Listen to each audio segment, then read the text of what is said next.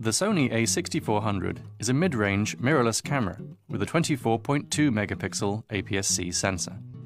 The design is largely unchanged from the a6300, with Sony claiming improved build quality. The a6400 has the same OLED EVF as the a6300, as well as a touch-enabled tilting LCD. A new My Dial feature allows you to repurpose the camera's dials when a custom button is pressed or held. You can configure up to three sets of functions.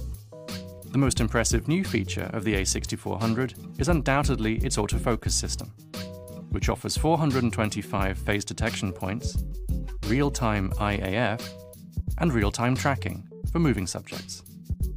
Like previous models, the A6400 can shoot at up to 11 frames per second, or 8 frames per second in silent shutter mode, both with full autofocus and exposure capability, but not live view.